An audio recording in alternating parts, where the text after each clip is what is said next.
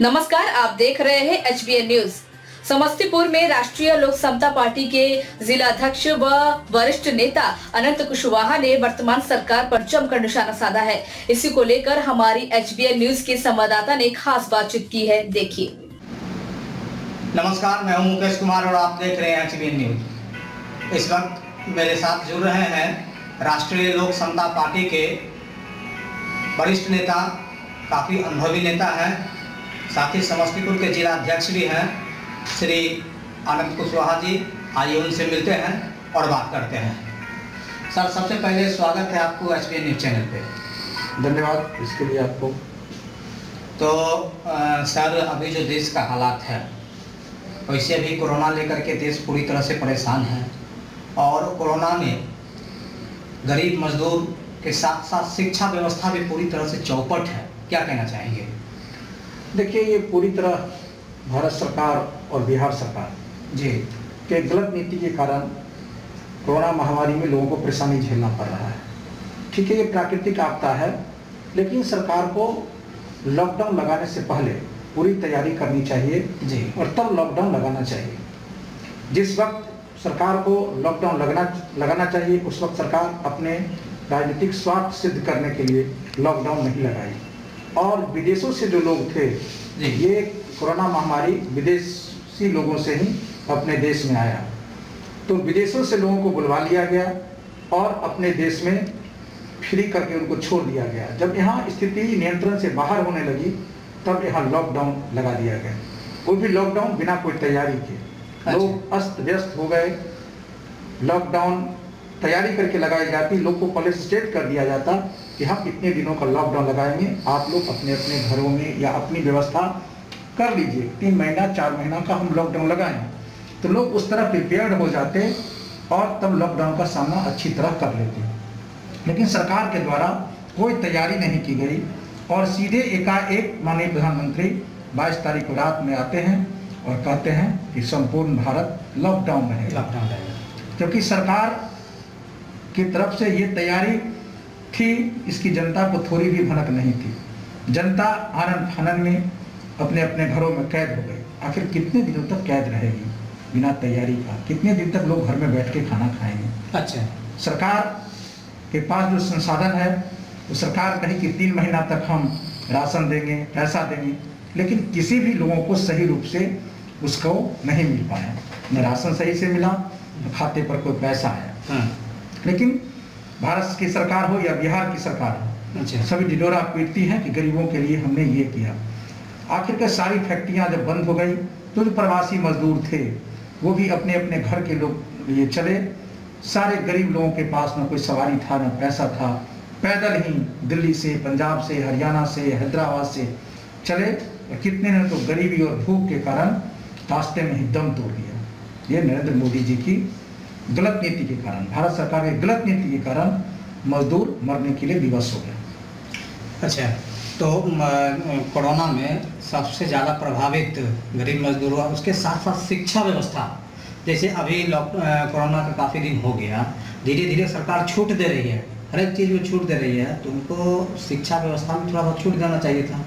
देखिए ये तो निश्चित है कि शिक्षा पूरी तरह ठप हो गई है। अच्छा। आज सरकार मॉल खोलने की दे रही है शादी विवाह का इजाज़त दे रही है लेकिन कोचिंग या स्कूल खोलने की इजाज़त नहीं दे रही है जबकि सरकार को स्कूल और कोचिंग खोलने की इजाज़त देनी चाहिए उनको भी जो आपका शर्त ऑफ़ कंडीशन से आप बस चला रहे हैं जिस शर्त ऑफ़ कंडीशन से शादी ब्याह का अनुमति दे रहे हैं हम्म। राजनीतिक कार्यक्रम करने का अनुमति दे रहे हैं उसी तरह स्कूल कॉलेज को भी उसी शर्त से सोशल डिस्टेंस का पालन करते हुए हम्म। खोलने का या सप्ताह में दो दिन या तीन दिन हम्म। खोलने का अनुमति देना चाहिए क्योंकि सभी बच्चे ऑनलाइन क्लास नहीं समझ पाते हैं। हम्म। सभी के पास एंड्रॉयड सेट नहीं है हम्म। जो गरीब के बच्चे हैं।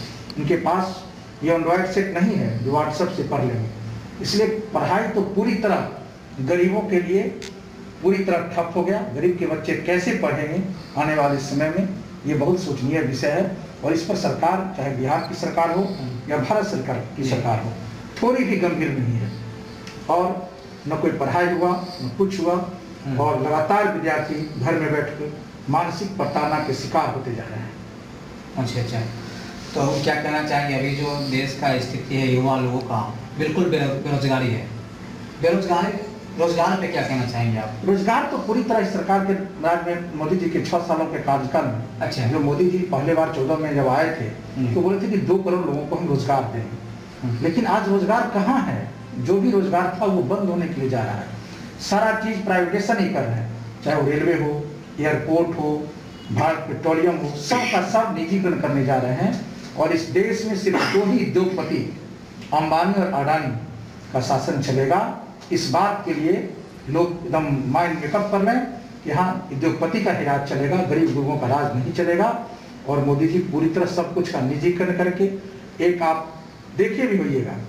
पत्रकारिता जगत से जुड़ी हुई तो चिट्ठी भी आ गई है सभी विभागों में। अच्छा। कि 50 वर्ष से ज़्यादा उम्र पार कर गए हैं हम्म। उनको जबरन रिटायरमेंट कर दिया जाएगा और उसके जगह पर निजीकरण होगा निजीकरण में कौन सरकार युवा किसको रखेगी कि कंपनी वो कंपनी पर निर्भर करता है वहाँ न कोई आरक्षण उष्टर का पालन होगा न दलित के न पिछड़ों के न जो गरीब तबके के सवर्ण समाज के लोग हैं हम्म। उसको देखने वाला कोई नहीं है सब का सब निजीकरण हो जाएगा और वो मनमानी चलेगी अंबानी जी का या अडानी जी का और हम लोग दर्शकों होकर देखते रहेंगे इसलिए खासकर युवा पीढ़ी से। हम अपील करना चाहते हैं कि अभी भी वक्त है आने वाले पीढ़ी के लिए अपने बाल बच्चों के भविष्य के लिए अगर सुरक्षित चाहते हैं तो इस सरकार से निजात पाना होगा। अच्छा। तो अभी कोरोना लेकर के देश परेशान है और इसी बीच में अभी चुनाव कराने की बात हो रही है। इस विषय में क्या कहना चाहेंगे? देखिए चुनाव तो नियत समय पर हो इसके अच्छा। पक्षधर हम भी हैं अच्छा चुनाव नियत समय पर हो इसके पक्षधर हम भी हैं जी उसका भी तरीका है सोशल डिस्टेंसिंग का पालन करके बूथों पर संख्या बढ़ा करके अच्छा और हर एक बूथ हम्म। जो रेला रैली कम हो हम्म। और प्रत्येक बूथ पर हम्म। प्रत्येक मतदाता को अलग अलग ग्लोव्स दे करके। चुनाव हो लेकिन। चुनाव के साथ साथ जो बुनियादी सुविधाएँ हैं आम लोगों के लिए उसकी भी व्यवस्था सरकार करे चुनाव तो पाँच साल के बाद होना है चाहे किसी की सरकार हो जी। चुनाव होगी। लेकिन साथ साथ बुनियादी सुविधाओं का भी ध्यान ध्यान सरकार को रखना चाहिए जिससे आम जन को कोई कष्ट नहीं हो। हम्म। कोरोना महामारी का रैंडम जाँच की प्रक्रिया तेज करनी चाहिए। आज सरकार के पास उतना किट उपलब्ध नहीं है। आज सरकार के सारे वैज्ञानिक लगातार विश्व के सारे वैज्ञानिक शोध ही कर रहे हैं कोरोना का वैक्सीन निकलेगा। लेकिन जैसा कि अनुमान है कि छह महीना अभी और लगेंगे कोरोना का वैक्सीन आने में लोगों के बीच। और आज आम आदमी के बीच में पहुँचने में लगता है एक वर्ष न कहीं लग जाए।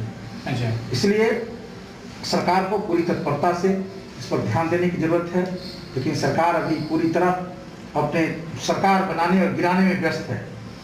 चाहे वो चुनी हुई सरकार हो राजस्थान की सरकार हो मध्य प्रदेश की सरकार हो या बिहार की सरकार हो सब पूरी तरह अपने अपने भाजपा की सरकार सरकार बनाने और गिराने में लगी हुई है। बिहार आम जनता पर उसका कोई ध्यान नहीं है। आम जनता अभी भूखे मर रहे हैं। आज किसी भी सरकारी कार्यालय में चले जाइए। हाँ। भ्रष्टाचार का बोलबाला है। बिना पैसा का एक काम आपका नहीं होगा। चाहे थाने पर चले जाइए ब्लॉक पे जाइए कलेक्ट्रेट में जाइए बिना पैसा का एक काम आपका नहीं हो सकता है। इसलिए मोदी जी जो करते हैं भ्रष्टाचार पर हम लगाम लगाएँ नीतीश कुमार जो ज़ीरो टॉलरेंस की बात करते हैं हम्म। वो पूरी तरह फ्लॉप साबित हो रहा है। पंद्रह वर्षों के शासनकाल में नीतीश कुमार जी ने क्या किया? सिर्फ़ रोड और सड़क बना देने से, स्कूल का बिल्डिंग बना देने से शिक्षा का विकास नहीं होगा। शिक्षा का विकास के लिए अच्छे टीचर की ज़रूरत है। अच्छे लैब वहाँ होना चाहिए। किसी भी स्कूल में चले जाइए आप। कहीं कोई लैब की व्यवस्था नहीं है। न कहीं कोई अच्छे टीचर हैं। सब के सब नौकरी, डिग्री लाओ, नौकरी पाओ। ऐसे टीचर बाहर लोग हैं जिनको सही से, मैंने जो सब्जेक्ट में टीचर बहाल हुए सब्जेक्ट का सही से ज्ञान नहीं है लेकिन वो टीचर बन गए क्योंकि उनके पास डिग्री थी। डिग्री सरकार की पॉलिसी थी डिग्री लाओ नौकरी पाओ। सिर्फ़ बिहार में पूरी तरह शिक्षा व्यवस्था चौपट हो गई। और आप जानते हैं कि हमारे नेता माननीय उपेंद्र कुशवाहा जी जब भारत सरकार में मानव संसाधन विकास राज्य मंत्री थे। तो जो बिहार की शिक्षा स्थिति यहाँ के नीति आयोग के द्वारा जो रिपोर्ट गया तो बिहार का शिक्षा व्यवस्था बहुत निचले स्तर पर था। तो लगातार शिक्षा आंदोलन के लिए हमारे नेता मंत्री रहते हुए कार्यक्रम पर कार्यक्रम किए। चाहे शिक्षा सुधार, पुस्तक उधार हो, शिक्षक सुधार, मानव कतार हो, शिक्षा सुधार, जीना बेकार, लगातार कार्यक्रम किए। लेकिन बिहार की सरकार उस पर कोई अमल नहीं की। पच्चीस सूत्री सुझाव भी माननीय महामहिम राज्यपाल जी को दिया गया जो इस सूत्री पर काम हो, पच्चीस सूत्री सुझाव पर तो निश्चित है कि बिहार की शिक्षा व्यवस्था में सुधार होगा। लेकिन नीतीश कुमार जी को सिर्फ़ अपनी राजनीति करनी थी और उनको लग रहा था उपेंद्र कुशवाहा जी अगर शिक्षा के सुधार में अहम योगदान निभा देंगे तो गरीबों के बच्चे अच्छे लिख से पढ़ जाएँगे लिख जाएँगे तो हमारी जो राजनीति की दुकान है वो बंद हो जाएगी। कि नीतीश कुमार जी पिछड़े दलित और अल्पसंख्यकों की बात करते हैं कि हम उनको अच्छी शिक्षा दे रहे हैं। हम्म, लेकिन आज सबसे ज़्यादा पढ़ाई लिखाई में सबसे ज़्यादा किसी का हरास हुआ है हानि हुआ है तो जो गरीब हैं, अति पिछड़े के बच्चे हैं, दलित समाज के बच्चे हैं, उनके सबसे ज़्यादा हरासमेंट शिक्षा में हुआ है, क्योंकि वहाँ अच्छे शिक्षक नहीं है। तो कैसे उसको ज्ञान मिलेगा? आज अमीर घर के बच्चे तो किसी भी बड़े प्राइवेट स्कूल में पढ़ के अच्छा ज्ञान प्राप्त कर लेते हैं, अच्छे कोचिंग में जाके पढ़ लेते हैं। लेकिन जो गरीब हैं, जिनके माता पिता गाँव में रहकर खेती बाड़ी करते हैं, मजदूरी करते हैं, उनके बच्चे का एकमात्र सहारा वही सरकारी स्कूल है। जी। इसलिए सरकारी स्कूल जब तक अच्छी शिक्षा नहीं होगी, तब तक शिक्षा व्यवस्था में सुधार पाना कतई संभव नहीं है। इसलिए हम सरकार से मांग करते हैं कि सरकारी स्कूल में जब तक सरकारी कर्मचारी का बेटा नहीं पढ़ेगा, तब तक उस सरकारी स्कूल का सुधार नहीं हो अच्छा अच्छा। तो अभी जो नीतीश कुमार जी हैं, इनको कहा जाता है सुशासन की सरकार। और अब जब चुनाव नज़दीक आया है, तब नल जल योजना का उद्घाटन कर रहे हैं, जो कि ये नल जल योजना का कार्य लगभग पिछले उनके जो है सरकार से ही चलता आ रहा है। अब जब चुनाव करीब आ रहा है तो आज ही आप जो वो उद्घाटन करेंगे नल जल योजना का ये क्या मतलब है? देखिए सरकार जो मुख्यमंत्री का सात निश्चय योजना था हाँ। उसी के तहत सरकार नल जल योजना और हर गली सड़क योजना हाँ। गली न- गली नली योजना जी। शुरू की थी। लेकिन पाँच सालों के अंतर्गत नीतीश कुमार जी जी। पूरे दिल्ली पटना में बैठ के उद्घाटन करते हैं धरातल पर आके देखें कि नल जल योजना का क्या हाल है। जिस पंचायत में नल जल योजना का काम हुआ है वहाँ जाके देखिए कि पानी चल रहा है कि नहीं चल रहा है। चल रहा तो टंकी फूट गया। अभी पाँच साल भी नहीं हुए हैं बहुत जगह टंकी फूट गया है। पानी सही से नहीं चल रहा है पाइप फूटा हुआ है। है। पाइप का क्वालिटी भी जो दिया गया है वो घटिया किस्म का दिया गया अच्छा। अगर सही रूप से पूरे बिहार में नल जल योजना का जाँच हो जाए बिहार के सारे प्रखंड विकास पदाधिकारी हाँ। और नल जल योजना का करने वाले मुखिया जी निश्चित है कि जेल होगा। लेकिन कैसे होगा? हाँ। सरकार के जो कर्मचारी हैं चाहे वो पंचायत सेवक हों हाँ। वीडियो हों सभी को सभी सरकार पर दबाव है सरकार का दबाव है कि किसी तरह जैसे तैसे योजना करके हमारा कमीशन तुम पहुंचाओ। वीडियो साहब इसी में लगे हुए हैं। सारे वीडियो लोग मुखिया पर दबाव डाल के आधा अधूरा काम का रिपोर्ट करते हैं। और योजनाओं का बंदर बांट होता है और उस पर सारी राशि माननीय सीएम तक जाती है। अच्छा अच्छा। तो अभी एक और योजना है जल जीवन हरियाली के माध्यम से सभी जो जितने भी तालाब हैं उस पर जो है वो काम चल रहा है। वो वो तो और लूट खसोट की लूट खसोट की लूट खसोट की योजना है। अच्छा। सरकार का अब जाके जितना भी पोखर का उराजी हुआ जाके देख लीजिए हम्म। क्या सही से प्राकलन के हिसाब से काम हुआ है क्या? किसी भी पोखरा का समस्तीपुर जिला में उदाहरण के तौर पर देख लीजिए। सरकार जब माननीय मुख्यमंत्री जी मेडिकल कॉलेज का उद्घाटन करने आए थे। जी। तो नरगोगी मॉडल और महा- रामापुर महेशपुर मॉडल बहुत ज़ोर ज़ोर से प्रचार किया गया था। लेकिन आज आप जाके देखिए रामापुर महेशपुर का क्या हाल है नरगोगी पोखरा का क्या हाल है। वहाँ एक भी बूंद पानी बाहर से गया क्या? एक भी बूंद पानी बाहर से नहीं गया। तो फिर कैसे जल संचय होगा वहाँ? जब तक बाहरी पानी जाने का रास्ता नहीं बनेगा तब तक जल संचय नहीं हो सकता है उस पोखरा में। जी। इसलिए सरकार जो बनाती है बिना सोचे समझे कोई प्लानिंग का एस्टिमेट बना दी और पूरे बिहार में एक टेंडर प्रक्रिया से सब सेंट्रलाइज टेंडर करा करके भारत सरकार पूरी तरह एग्जीक्यूटिव इंजीनियर के मार्फत से वहाँ सरकार पैसा वसूलने का काम करती है और योजना पूरी तरह लूज खसोट है। सही से जाँच हो सभी ठेकेदार और सभी अभियंता जेल में जाएँगे। तो अब बिहार में विधानसभा चुनाव काफ़ी करीब आ चुका है और आपकी जो पार्टी है वो महागठबंधन में है तो क्या सीट का अभी तक तालमेल बैठा है? कितने मतलब सीटों पे आपकी पार्टी चुनाव लड़ेगी? देखिए हम कितने सीटों पर लड़ेगी ये हम नहीं बता सकते ये राष्ट्रीय स्तर पर की बात है। राष्ट्रीय अच्छा। नेता हमारे उपेंद्र कुशवाहा जी से लगातार महागठबंधन के नेताओं से उनकी बातचीत चल रही है। और सम्मानजनक बात हमारा होगा क्योंकि लोकसभा चुनाव में भी हम पाँच लोकसभा सीट पर लड़े थे। और समस्तीपुर जिला में उजियारपुर लोकसभा भी हम अच्छा। लड़े थे। अच्छा। इसलिए उजियारपुर लोकसभा में हम लड़े हैं। हमारे नेता माननीय उपेंद्र कुशवाहा यहाँ चुनाव लड़े हैं। जी।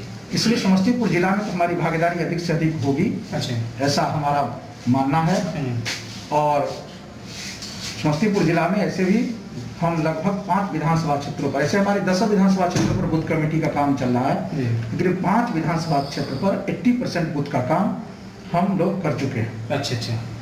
कर चुके हैं और प्रदेश कार्यालय को जमा भी है।